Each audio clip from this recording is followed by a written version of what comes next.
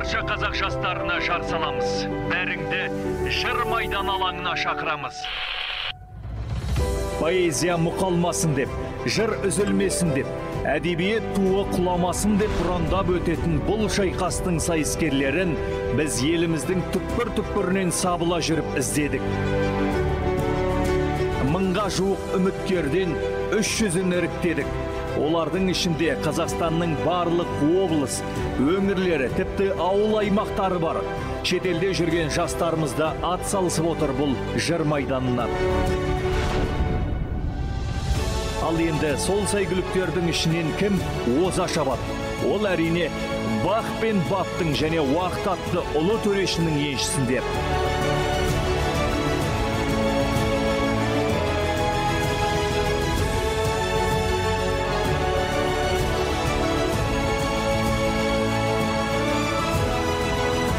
Бәріне қойылған бір ғана талап қазақ поэзиясын сүю әрі құрметтеу.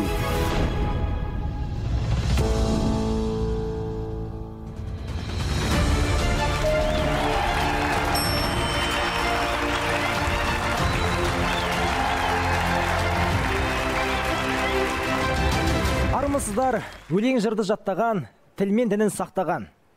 Бірін бірі мақтаған алаш жұрты. Бұл жыр майданы бағдарламасы. Көңіл күйлеріңіз қалай?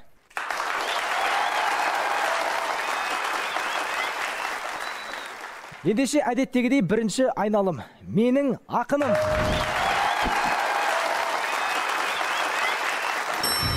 Сайыс ережесімен қысқаша таныстыра кетейін. Бұл менің ең сүйікті ісім бұл жобадағы. Яғни жартылай финалдық сайыс басталғанша ереже өзгермейді. Қатысушылар өзінің сүйікті ақындарының өлеңін жатқа оқуы тиіс. Және де нақышына келтіріп егерде мүдірген жағдайда біз кешіреміз яғни 5 секунд уақыт береміз. Адам болған соң бәрі болады ғой солай емес пе? Сол уақыттың аралығында өлеңді есіне түсіріп әрі қарай оқуы тиіс. Егерде оқи алмаса жоба шарты бойынша қош айтысамыз. Барлығына түсінікті деп ойлаймын. Ендеше біз бастаймыз. Бірінші болып алаңға шығатын дәуренді қарсы алайық.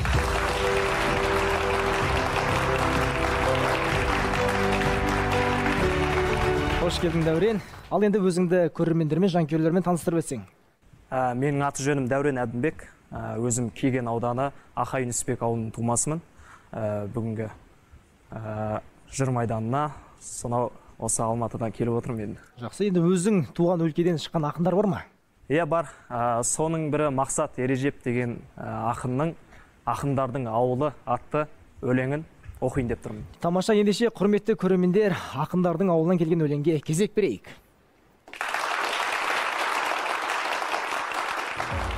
Мақсат ережеп ақындардың ауылы.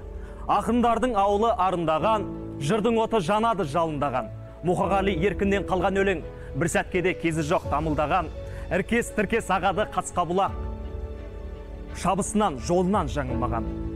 Ақындардың ауылы арындаған. Туған жерін жан болмас сағынбаған. Бас иіп тағзым жасап шүкір айтып бір уыс топырағына табынбаған. Осынау жерұйықты жет айналып асан қайғы бекерге салынбаған. Ақындардың ауылы арындаған. Табиғаттың пейілі тарылмаған. Туады туады әлі таудай ақын. Ешкімдердің ырқына бағынбаған. Астан кестен қылатын дүниені жанартаулар қайдасың жарылмаған. Дәурен тамаша. Бірінші болып сайысты бастау. Нағыз ер жігіттің ісі. Сен өзіңнің ер екеніңді дәлелдедің. Тамаша ендеше дәуренге қошемет көрсетіп жайғастырайық.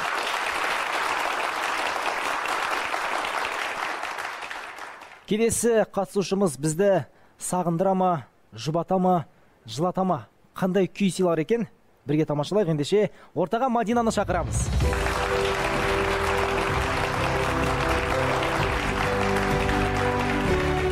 Қош келдің мадина. Қош көрдік. Сайысқа келген тақырыбың қандай? Мұқағали мақатаевтың қара өлеңін оқимын. Қара өлеңі иә ендеше іске сәт мадина. Рахмет.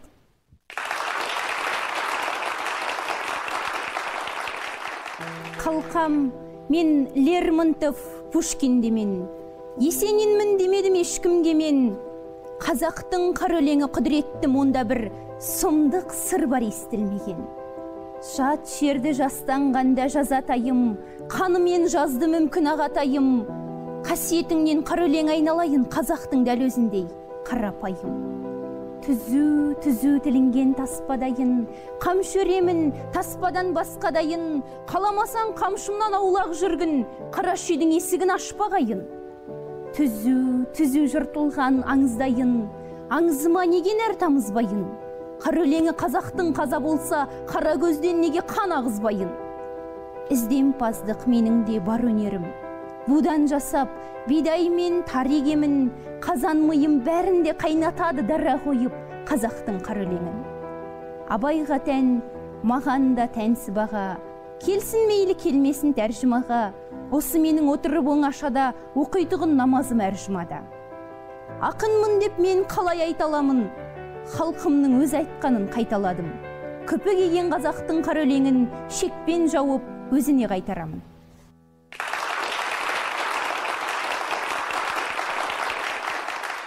Жарайсың мадина. Рахмет. алпыс екі тамырымыздан қан жүгіртіп бойымызды тулатып нақышына келтіріп орындап бердің. Ал енді өзіңді таныстырып өт көрермендермен. Мен оқас мадина алматы облысы еңбек қазақ ауданы шелек ауылынан келдім. Бүгінгі таңда әл фараби атындағы қазақ ұлттық университетінің журналистика факультетінде оқимын. Жақсы ендеше іске сәт. Рахмет сізге.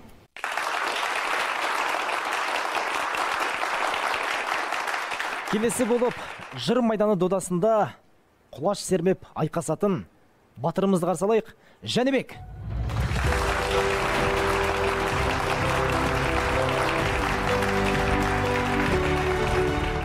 Әй тамаша жәнібек десе жәнібек екенсің. Көз алдыма жәнібек батыр елестеп тұр. Рахмет. Керемет көңіл күй қандай? Көңіл күй керемет. Бәрі тамаша ә, ғой иә? бәрі тамаша. Бүгінгі жыр майданы дейтін үлкен ұрыста дайынбыз ба айқасуға? Иә дайынбыз бүгінгі сайыскерлер шетінен кіл мықты. Қобалжу жоқ қой иә? Жоқ қобалжу жоқ. Жақсы іске сәт. Ха жақсы.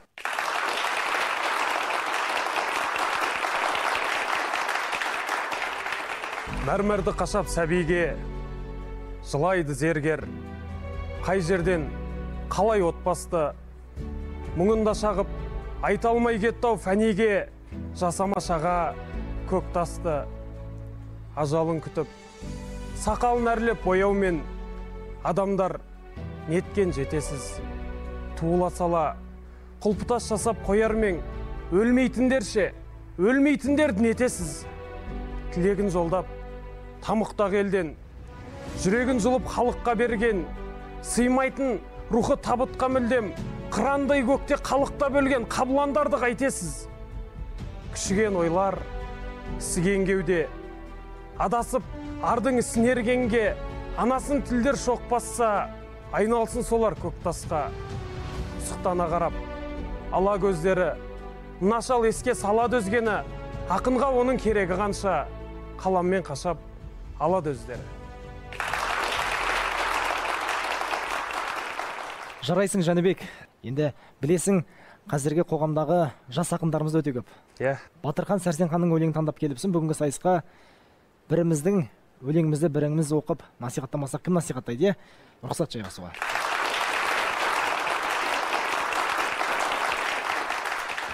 келесі болып марғасқа жігіттермен айқасатын нәзік жанды аруымызға қарсы алайық гүлмарал.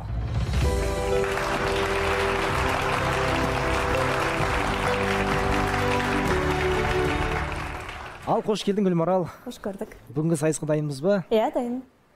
Ендеше өзіңді таныстырып өтсең көрермендермен аты жөнім исабек гүлмарал қуанышбекқызы. Жамбыл облысы қордай ауданы гвардейский қалашығынан келдім. Тамаша. Ал енді бүгінгі сайысқа қай ақынның өлеңін алып келіп отырмыз? Қалқаман сариннің елге барсам деген өлеңі. Елге барайық ендеше иә іске сәт рахмет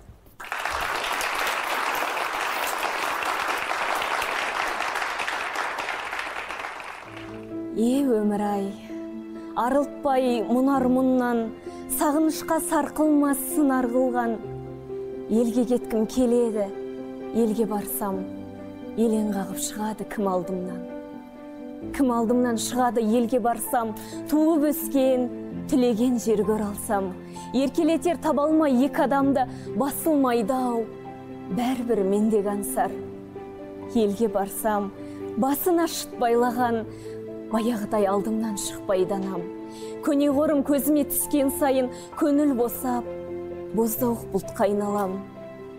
Баяғыдай ауылда әкем де жоқ. Тура сөйлеп сынайтын қатем де жет. Өткелінен өткізбей жұтты оны да өлім дейтін қатыгез қатерлі өзек. Анаңыздың қолынан дәм татып ек ал әкеңіз талайға арқа тірек. Болып еді деп көрші еске алады елге барсам ескейге қорқа түнеп. Екі бейне сол сәтті ақ елес беріп ести бергім келетін көп естелік. Егілгенде жұбаныш бола алмадың е өмір ай. Өз балаң емес пе едік?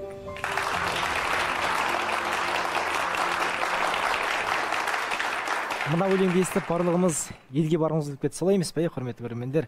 Ал енді гүлмарал қашан елге бардың? Елге осы соңғы рет қыс, қыс мезгілінде барған шығармын. Осы мезгілде Иә. Мына өлеңнен кейін сен де елге барғың келіп кеткен шығар. Әрине ата ананы сағынғанда осы өлең міндетті түрде еске түседі жақсы өлеңнің құдіреті де осы емес пе құрметті көрермендер? Ақынның миссиясы да оқырмандардың жүрегінен жол табу. Ендеше бүгінгі ақтық сыннан да сен де жол тап. Рахмет. Жайғасуға рұқсат.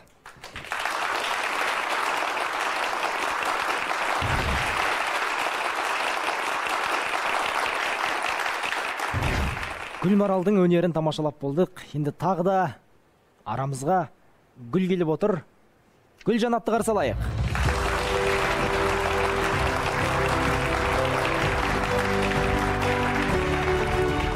Қош келдің гүлжанат бүгінгі жыр майданы гүлге оранып жатыр. Солай емес пе? Ал енді өзіңді таныстырып өтсең көрермендермен. Ә, сәлеметсіздер ме менің аты жөнім шайхыдын гүлжанат шәмілқызы. Ә, қазақ қыздарының қара шаңырағында төртінші курстың студентімін. Ә, жыр оқығанда өлең оқығанда жаныма баяғыдан серік етіп жүрмін. Тамаша демек болашақ мұғалімсің. Болашақ мұға- мұғаліммін иә әдебиеттен. Әдебиет. Жақсы енді бүгінгі сайысқа қай ақынның өлеңін алып келдік? Жүрсін ерман ертегі. Ертегі. Ендеше ертегілер әлеміне бірге барайық құрметті қатысушылар жанкүйерлер. Қолдап қояйық гүлжанатты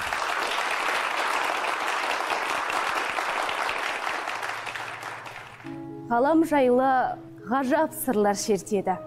Ертегіні тәуір көрем мен тегі. Осы күні ойлап көрсем жасымда шешем маған айтпапты еш ертегі. Соғыстан соң жимаған кез жұрт есін сәби көздің жасын өзің сүртесің таң сәріде кететін ол шығырға әкеміздің киіп солдат күртесін. Шықпаған кез елдің әлі бүйірі ең тәуір ас ең тәуір ас жігерінің тиірі. Кешке келсе күтіп оны тұратын жанбаған от сауылмаған сиыры. Парыз бейнет босатпайды арқаны. Отын шауып диірменін тартады. Су әкелу тезек теру аз болса мүгедек боп оралған жар бар қалай бәрі үлгерді есепте қалай ғана тесілмеді қос өпке ертегі боп ұйқыны бір қандыру әрең жетіп жығылатын төсекке. Ертегіде жібердің деп есені жазғыруға болмайды енді шешені. Азайғанда апашымның бейнеті алпам сұлға ертегі айту кешеді. Қартайдана көп арман бар ойында мазалайды ажал жайлы ойымда. Мен шешеме айтам енді ертегі жүз жасайтын кейуаналар жайында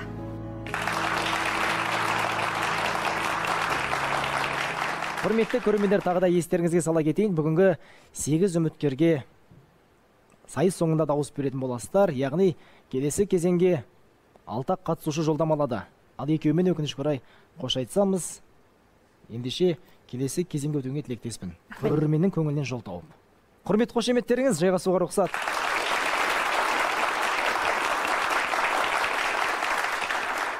Жыр майданы додасында келесі болып бақ сынайтын аиданы қарсы алайық.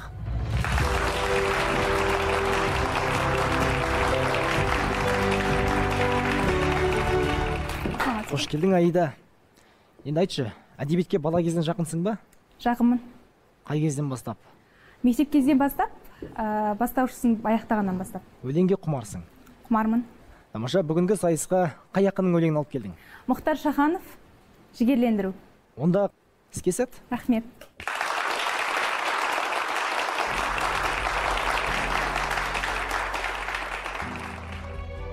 Сен жыладың жігітім. Көп көрдім деп тұрмыстың тапшылығын қайтпады деп жұрт кеткен жақсылығым.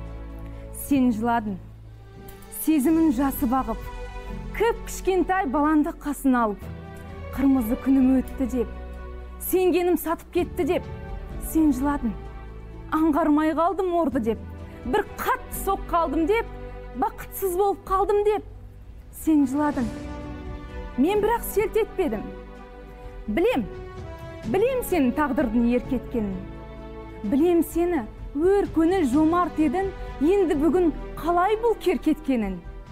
Жә жарар өткен күн оралар ма? Қарау керек бауырым саған алға басындағы бөрік пе орамал ма? Бөрік болса ауыз тез басқа күйге көз жасыңды көрсетпе жас сәбиге. Ай жігіт сен маған ұнамадың. Жас нәресте көруге тиісті емес. Әкесін еңкілдеп жылағанын әкесін тым күйреп құлағанын ерлікпенен ездіктің жолы қатар екеуінің арасы. Бір ақ адым. Көтер қане басыңды қалай бұның? Мұз боп еріп кеткен бе бар айбының көтер қане басыңды күніңді босқа өткізіп пе едің? Тағдырын неге сыр айтты саран? Өмірдің барлық сәтсіздіктерін бақытсыздық деп кім айтты саған? Кім айтты саған? Асауды мінілмейді деп қара ешкі мүжіген ағаш қайтадан гүлдемейді деп. Кім айтты саған? Жұрттың бәрі мейірбан арайлы деп. Жұрттың бәрі шындықты қалайды деп. Биікті ардақтайды деп. Асылды қорлатпайды деп. Кім айтты саған? Бетіне жиған ұятты айтсы де. Тоқырау білмес айбыны адалдық деген әлемнің ұлы байлығы тірлікте осы баланы өкпелететіндер бар да жұбататындар бар. Жек көретіндер бар да ұнататындар бар. Барын сап қорғайтындар бар да жанын сап қорғайтындар бар. Қиналып бекер алаңдадың ау ойынды шығарып өріске. Өзің ақ айтшы ғаламда мынау жеңудің бәрі жеңіс пе жігітке арман жеткізіп өз сорын өзі жеңбесе өмірдің барлық сәтсіздіктері бақытсыздық емес. Ендеше. Өмірде болатын қиыншылықтарға тауы шағылып ынжырғасы түсіп жүрген жастарға қамшы болатын өлең екен. Жайғасуға рұқсат қошеметтеріңіз рахмет.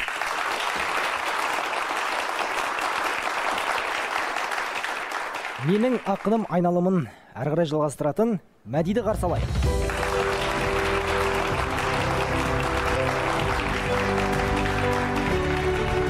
қош келдің мәди.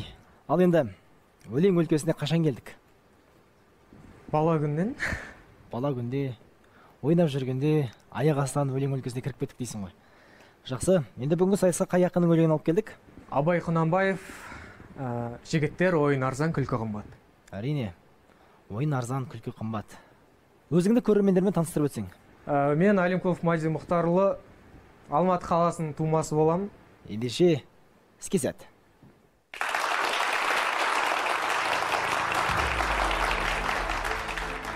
Жігіттер ойын арзан күлкі қымбат. Екі түрлі нәрсе ғой сыр мен сымбат. Арзан жалған күлмейтін шын күлерлік. Ер табылса жарар ед қылса сұхбат. Кейбіреу кейбіреу тыңдар үйден шыққанынша кейбіреу қояр көңіл ұққанынша. Сөз мәнісін білерлік кейбіреу бар абайлар әрбір сөзді өз қалынша. Шын көңілмен сүйсе екен кімді сүйсе? Бір сөзімен тұрса екен? Жанса күйсе? Қырмызы қызыл жібек бозбалалар оңғақ бұлдай былғайды бір дым тисе. Керекс бозбалаға талаптылық. Әртүрлі өнер мінез жақсы қылық кейбір жігіт жүреді мақтан кеулеп сыртқа пысық келеді. Сөзге сынық. Кемдікін қызық дәурен тату өткіз. Жетпесе біріңдікін бірің жеткіз. Қиянатшыл болмақты естен кеткіз. Бір жерде бірге жүрсең басын қосып біріңнің бірің сөйле сөзің тосып біріңді бірің ғизат құрмет етіс тұрғандай бейне қорқып жаның шошып.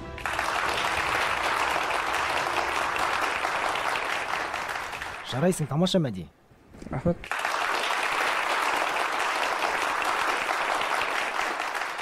Бірінші айналымды қорытындылайтын қатысушыға да келіп жеттік. Анелді қарсы алайық.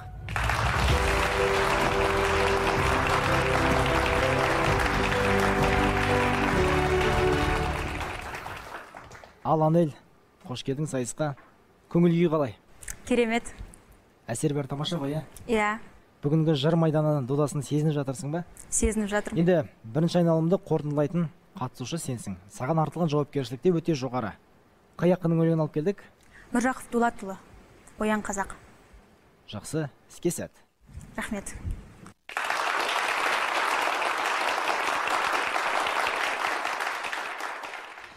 Көзіңді аш оян қазақ көтер басты.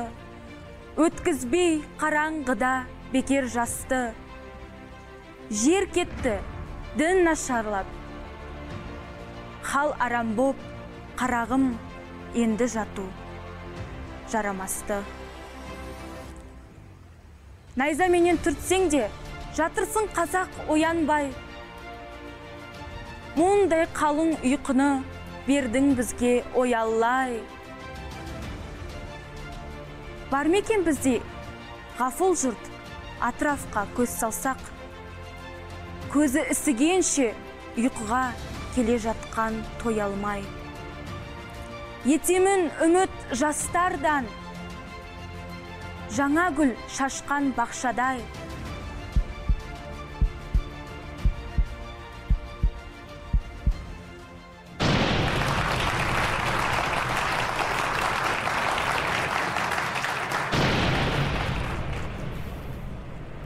Қабат деген ай. Өлеңнен мүдірдік. Сайыс ережесі солай өкінішке орай саған көрермендер дауыс бере алмайды. Қалған жеті қатысушыға дауыс беретін болады құрметті көрермендер. Ендеше анель көңіл түсірме бәрі жақсы болады еш уайымдама. Сайыс болған соң ондай болып тұрады. Жайғасуға рұқсат. Қошеметтеріңіз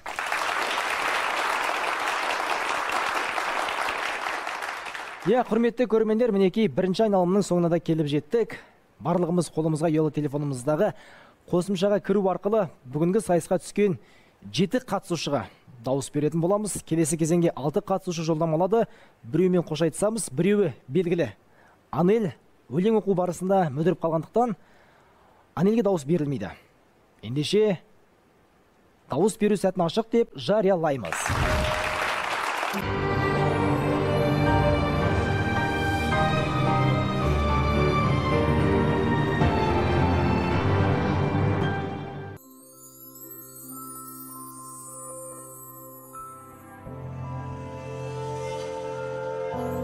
Сұрауын табамын қалауын табамын деп жүріп қорлықпен өмір өткізгенше малды не жерден сұрау керек не маңдай терден сұрау керек.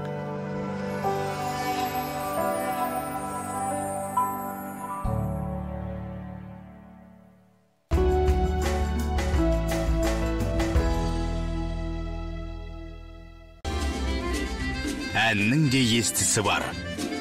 Есері бар. Бүгінгі біздің бағдарламамыз арқылы осы әнді халық әні деп айтуымызға толыққанды мүмкіндігіміз бар сияқты. Абай телеарнасында. Шаңырағымыздан ән үзілмесін. Күміс көмей бағдарламасы.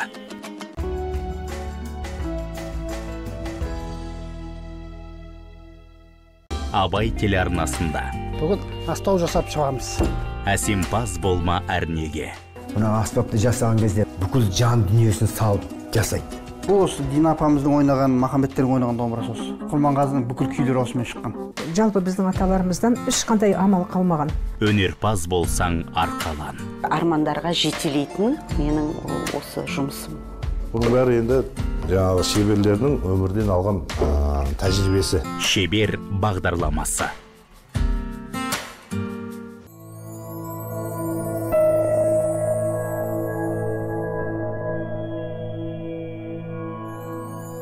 Құлақтан кіріп бойдалар жақсы ән мен тәтті күй. Көңілге түрлі ой салар. Әнді сүйсең менше сүй.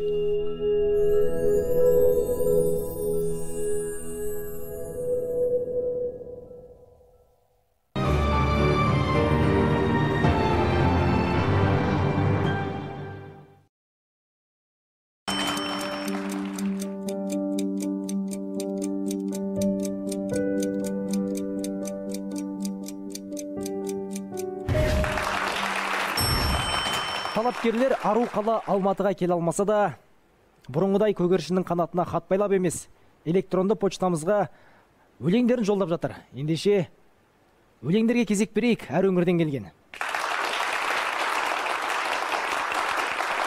Байқаймысың байқаймысың мына ғажап тамашаны бір адамға байланысты бір адамның болашағы. Байыппенен көз жіберсең асау жылдар өрісіне бір адамға байланысты бір адамның жеңісі де. Бұл замани қағиданың мүмкін бекен көнермегі қозы көрпеш аман тұрса баян сұлу өлер ме еді исатайды жеңбесе жау махамбетті жеңер ме еді қайран ақын тағдырының соққысына көнер ме еді қайран ақын сұңқар қиял. Нар кескен ол батыл арман исатайдан айрылғанда жер бауырлап жатып алған бұдан асқан қайғылы түн қонған емес басын оның. Досы барда алшысынан түсуші еді асық оның. О сұмдық-ай жаулық сезім парасатты паналапты. Исатайдың өлімімен махамбетті жаралапты. Қадірлім ау көз жіберші асау жылдар өрісіне бір адамға байланысты бір адамның жеңісі де. Кейде мені мұқатпақ боп жаулар сені жамандайды ал егер сен жамандалсаң бұл әрине маған қайғы. Басымызға шиыр шиыр күн туғанда қыстаналы кейде мені жеңу үшін жаулар саған күш салады. Тайғақ өмір жолдарында сүрінгенде тірек алар сүйенішім сен екенін айтпастан ақ біледі олар. Әлемнің бар ажарынан бізге достық қымбат бұлау мен жадырап жүрсін десең сен мықты бол қымбаттым ау. Бұл жыр майданы додасы. Экранға назар аударайық. Гүлжанат көш басында келе жатыр гүлмарал қос гүліміз. Алдыға шықты. Гүлмарал түсіп кетті ғой. Өкінішке орай мадина. Көрермендердің талабы солай болса менің қолымнан келер амал жоқ. Маған салса барлықтарыңды ақтық мәреде көргім келеді мадина. Мадина мен анелді ортаға шақырамыз.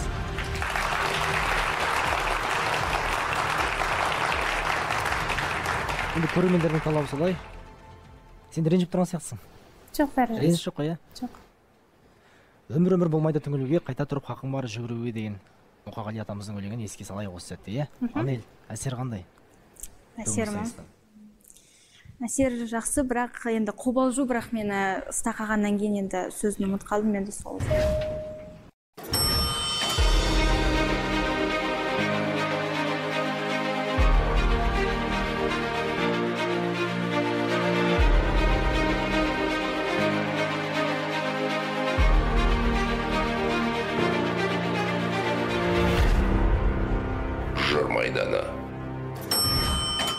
Көздері қырағы өздері мерген сөздері.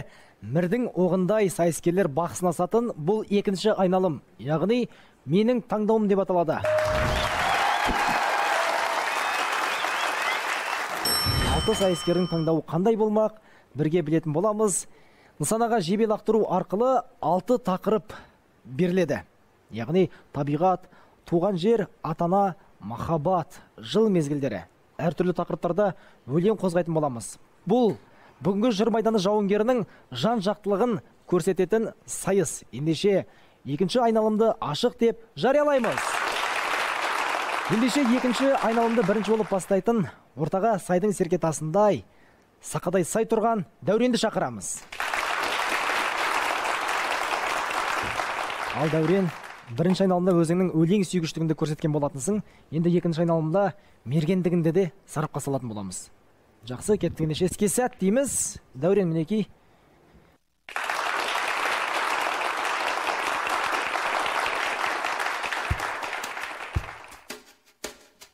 тамаша 15-тік көздедің яғни саған берілген тақырып табиғат туралы.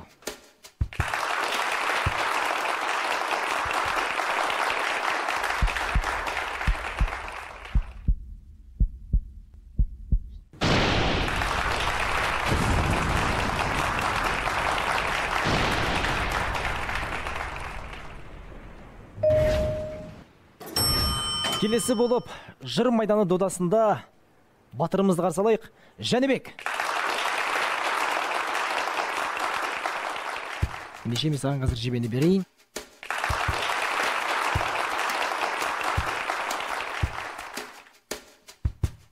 Тамаша он үшті көздедің яғни саған берілген тақырып тағы да табиғат туралы. Қалқаман сарин күзгі хат. Білесіз бе? Сағындым сізді көрмей. Үмітіммен күй кештім үздігердей. Сізді әйтеуір жаныма жақын тұтам бәлкім жақсы көрерсіз күзді мендей мен білмеймін. Сезімді кештік нендей. Бәлкім бізге бір бақыт кеш біткендей. Ойламауға сүймеуге бола ма екен? Үнін өзін адамның естіп көрмей. Бірақ сізді көрдім мен. Бірақ қашан болған іске бол дәсте кінәртпасаң жаныңызда жүргендей сезінемін жаныңыздан не болам жырақтасам. Білесіз бе сіз сирек хат жазасыз. Содан менде жиілеп сәт мазасыз. Ауыр ойдан қаламын арыла алмай ал сіз ше сіз тап тазасыз. Расымен де табиғат пен махаббаттың астасқан келбетін қалқаман сарин өлеңмен тізбектеп жүректерге жеткізе білген. Солай емес пе? Иә. Жақсы. Жарайсың жәнібек. Сен мүдірген жоқсың. Батыр десе батыр екенсің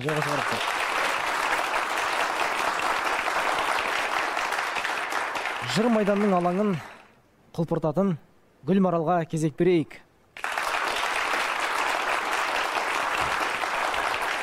Ал гүлмарал дайынбыз ғой иә? Иә дайынмын онда мен лезде қазір саған берейін жебені. Тыңдауға асықпыз.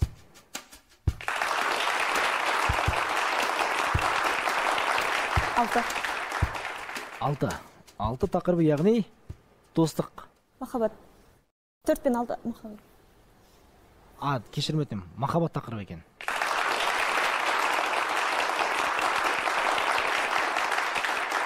Жас ақын ақгүл айдарбекованың сегізде деген өлең оқып берейін.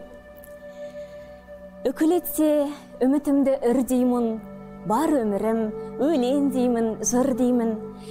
Бүгін сондай бір түрлі боп отырмын сізді сәл пәл сағындым ба білмеймін.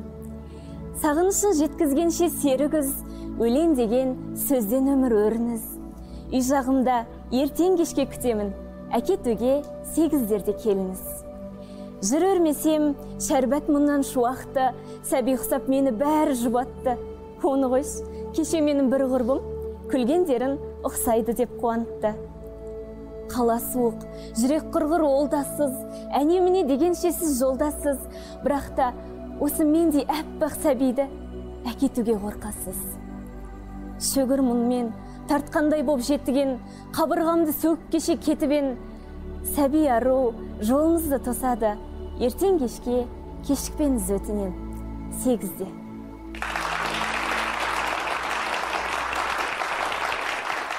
жақсы махаббат жайлы өлеңді оқып берді барлығымызға. Ұнады ғой иә құрметті көрермендер.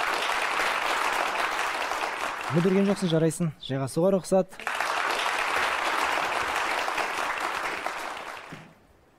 Келесі қатысушымыз гүлжанатты ортаға шақырамыз.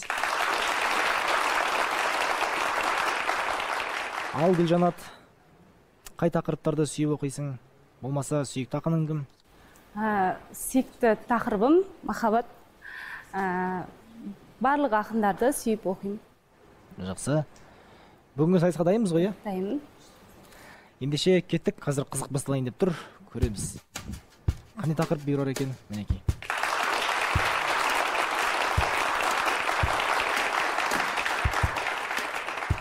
Он бес пен онның ортасында тұр иә? Қазір көрейік басым бөлігі қай жерге тиген екен? Он беске тиіпті иә?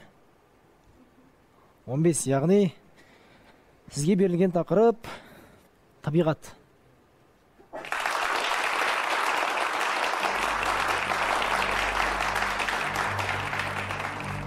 Күз сілкінтіп жауын жауып тұр.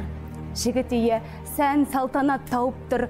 Құлақ салды әйелі де өзі де есіктерін біреу келіп қағып тұр кім болды деп есік қаққан жаңағы бәрі бірдей есікті ашып қарады.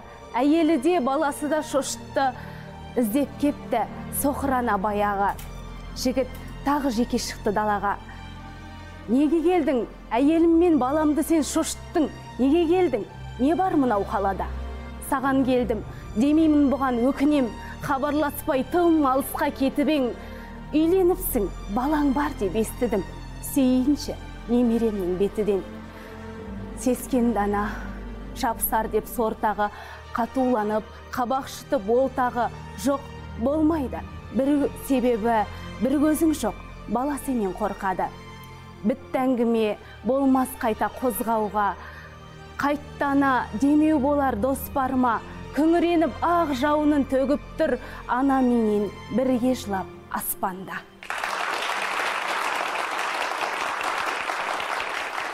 Жақсы гүлжанат саған берілген тақырып табиғат болатын. Бұл өлеңнің тақырыбы қандай? Аты қалай бұл өлеңнің ә, соқырана соқырана табиғатқа қатысы бар ғой иә құрметті көрермендер? Қалай? Қалай Бар, ойлайсыздар? келеді. Жақсы. Ә, бұл жерде мен шешпеймін. Бүгінгі жыр майданның жанкүйерлері шешеді. Тақырыпты қалай қамтыдың? Барлығы көрермендердің мұқият назарында. Рахмет жайғасуға рұқсат.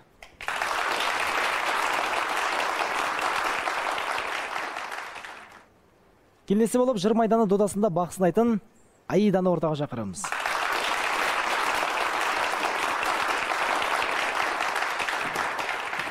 Жақсы аида бүгінгі сайыскерлер барлығы табиғатты көздеп жатыр. Егер де қазір сен де дәстүр бойынша табиғатты көздесең бүгінгі дәстүр бойынша. Аха. Оқи аласың ғой иә? Тырысып көреміз. Жақсы ендеше іске сәт аида. Рахмет.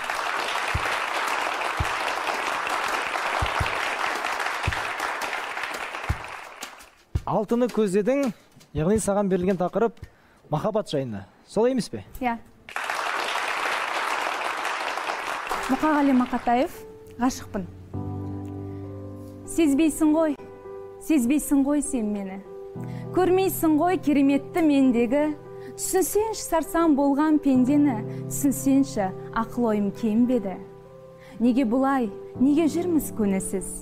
Кетем ба деп қапаланып өмірсіз? Шын ғашықпын шын ғашықпын сол адамға. Мен болмасам бола ма сол аман ба? О тәңірім неткен жан қайрылмайтын жүрегі еттен бәлде қол адам ба? Шын ғашықпын несіне оны жасыра алам? Әрбір алтын ғой бір тал шашымаған. Сырымды айтып ән арқылы өзіне сүйдім сәулем құлақ салшы сөзіме.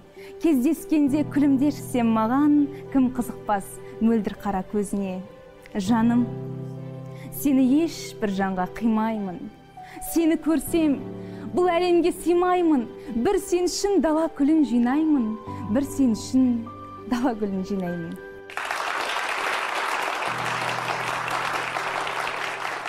Қай жерден қате кетті қай жерден мүдірді оның барлығын мен емес халық өзі шешетін болады көрермендер яғни студиядағы жанкүйерлер. Жайғасуға рұқсат аида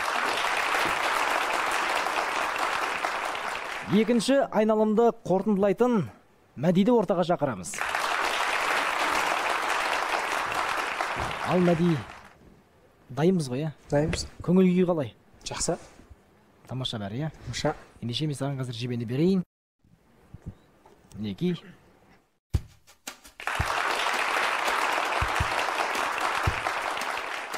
қандай тақырып түседі екен?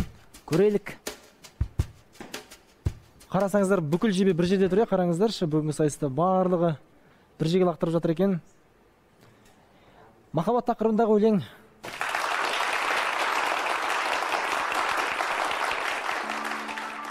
Махаббат болған еді. Таудың мен еркін жүрген тағысы едім. Тапты да түсірді ғой торға мені. Махаббат па? Махаббат болған менде. Жиі барған аққулар қонған көлге ал қазір тоңған жүрек солған кеуде. Ғашықтық па? Ғашық та бола берген. Бірақ жанға ғашықпын бала күннен жанымменен сүйем жанарыммен сағыныш па? Қалай оны таусалам? Сағынғам шөлдегем аңсағам ақыры шаршағам.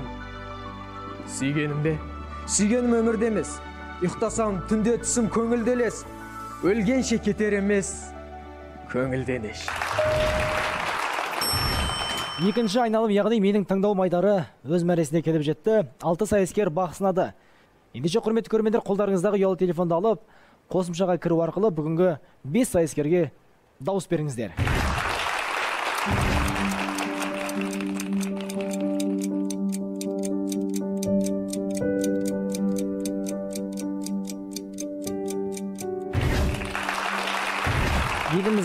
Өңірінен келген өлеңдерге кезек береміз.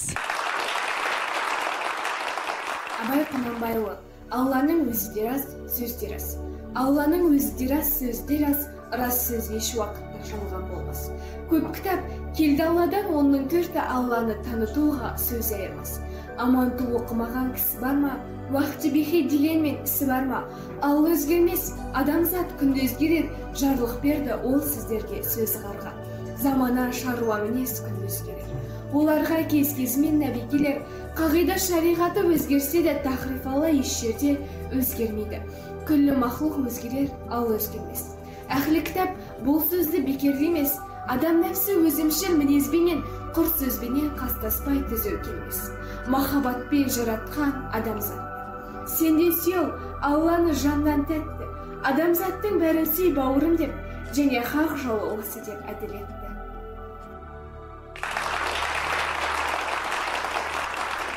құрметті көрермендер өздеріңіз сүйіп оқитын ақынның өлеңін жыр майданы бағдарламасынан тамашалағыларыңыз келсе қолдарыңыздағы ұялы телефонға түсіру арқылы біздің электронды почтамызға жолдаңыздар. Немесе әлеуметтік желіге жыр майданы хэштегімен жүктесеңіздер болғаны. Жалынды жырсүйер жастардың қайсы? Ақтық мәреге жолдамалды екен. Анықтап болсақ құрметті көрермендер бәрімізге де қызық. Экранға назар аударайық. Гүлжанат әдеттегідей гүлмарал екеуі көш басында келе жатыр. Түсіп кетті ғой. Көтеріп тұрып құлатады өмір деген осы болса керек. Жәнібек өкінішке орай дәурен екеулерін ортаға шақырамыз.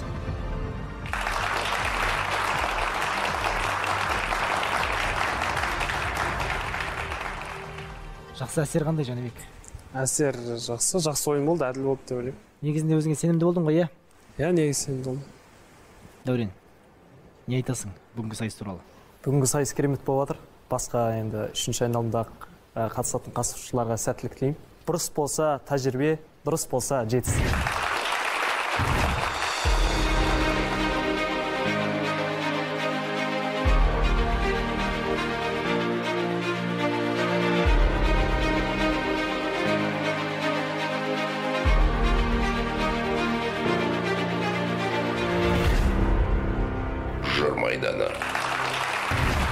Барлығымыз асыға күткен мен жеңімпаз айдары. Бүгінгі жыр майдан додасының жеңімпазы кім болар екен? Бәрімізге де қызық ережесі өте қарапайым. Оқ бойы оза шауып келе жатқан қатысушы яғни көш басында тұрған үміткер ортаға шығып үш қарсыласының арасынан біреуін өзіне таңдайтын болады яғни бәсекеге түсу үшін. Ал енді көш басында келе жатқан кім? Құрметті көрермендер. Аида аиданы шақырамыз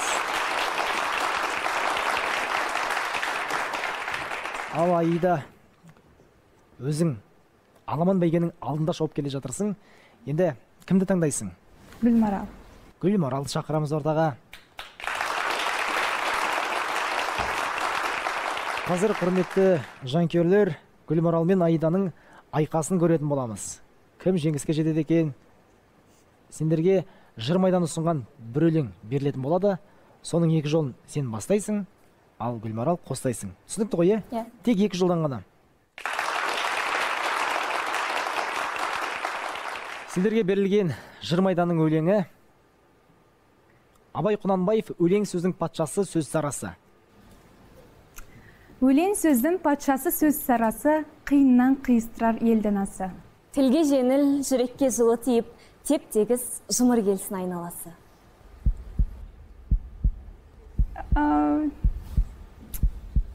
Мен білмеймін бұл өлеңнің негізі толықтай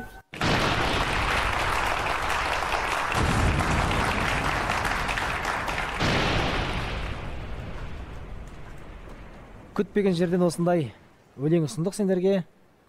Шабыстарыңды көрейік дедік. Жақсы бастадың. Жақсы аяқтадың. Бірақ өкінішке орай аида жалғастыра алмай қалдың.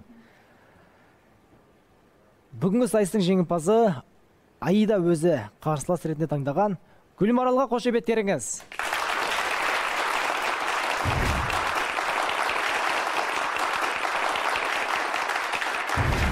келесі жұптың жеңімпазы кім болар екен бүгінгі жыр майданы додасының? Ендеше ортаға мәдиді қарсыласымен шақырамыз гүлжанат.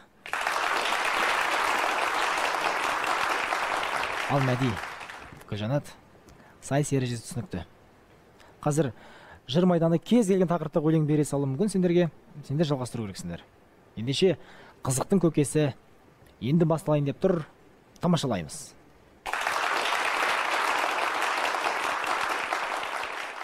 Сендерге берілген өлең мұқағали мақатаев шыда шыда жүрек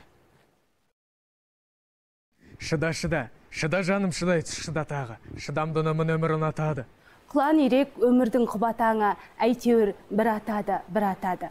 Өкінбе өкпелеме бүгініңе өмір өмір болмайды түңілуге мәңгі сені жазбаған сүрінуге қайта тұрып хақың бар жүгіруге. А айта берейін. Қайта тұрып хақың бар жүгіруге. Түсінем жаныңның ауырғанын. Жақсы жалғастырамыз. Шыдадың ғой шыдай түс дамылдағын. Тағы бір жол. Ә, тағдырыңның буына уына бағын бағын. Йоктардың тәсілін қабылдағын басқасына бас ұрып бағын бағын. Тамаша? Өкінбе шыда шыда шыдай түс шыда тағы. Міне шыдамдыны мына өмір шыда шыда шыдай түс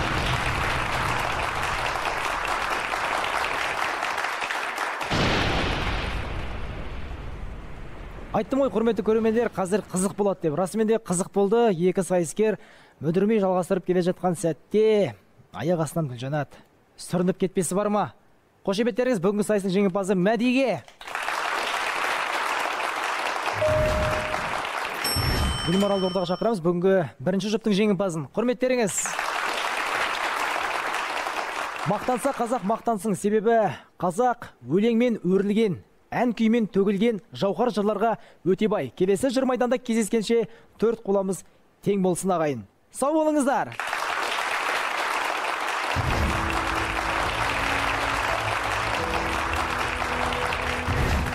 Өте керемет. Тіпті былай финалға шығамын деп ойлаған жоқпын. Осы күнге дейін жаттап жүрген өлеңдерім пайдасын тигізді. Одан ары шыңдалуыма бұл сайыс маған көп септігін тигізді. Бағдарлама өте керемет деңгейде өтті. Мен бұрын ойлайтынмын осындай поэзияға байланысты қазақ әдебиетін дамыту мақсатында неге осындай байқаулар телевизиялық форматта телевизиялық шоулар неге болмайды деп. Сол осы ойым көп ойлағандықтан сол орындалып жатыр армандарым.